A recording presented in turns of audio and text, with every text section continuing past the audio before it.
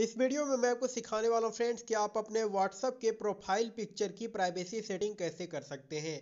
यानी कि आपके व्हाट्सअप का प्रोफ़ाइल पिक्चर कौन कौन देख पाए और दोस्तों कौन कौन नहीं देख पाए और दोस्तों किस किस से हाइड हो जाए तो आप ये सारी प्राइवेसी सेटिंग कैसे कर सकते हैं, इस वीडियो में मैं आपको बताने वाला हूँ। तो चलिए ज़्यादा समय न लेते हुए वीडियो को स्टार्ट करते हैं, बट उससे पहले अगर आप मेरे यूट्यूब चैनल पर नए हैं, इस चैनल को सब्सक्राइब करिएगा और पास वाले नोटिफिकेशन बेल को दबाकर ऑल के ऑप्शन पर ज़रूर क्लिक करिएगा। चलिए वीडियो को स्टार्ट करते हैं। इसके लिए आपको जाना है व्हाट्सएप में और जाकर आपको ऊपर यहाँ थ्री डॉट पर क्लिक करना है। सेटिंग पर क्लिक करना है और उसके बाद आपको यहाँ अकाउंट पर क्लिक करना है और उसके बाद आपको यहाँ प्राइवेसी पर क्लिक करना है। उसके बाद आपको ये दूसरे नंबर पर ऑप्शन मिलेगा प्रोफ़ाइल फ़ोटो का तो आप यहाँ पर क्लिक करिए और उसके बाद आपको ये तीन ऑप्शन मिल जाएँगे। एवरी का माई कॉन्टेक्ट का नो का। तो अगर आप यहाँ पर एवरी को सिलेक्ट करके रखेंगे तो तो इससे ये होगा कि आपका जो है व्हाट्सअप प्रोफ़ाइल पिक्चर कोई भी देख सकता है, वो चाहे आपके व्हाट्सअप कॉन्टेक्ट में ऐड हो या फिर ना हो।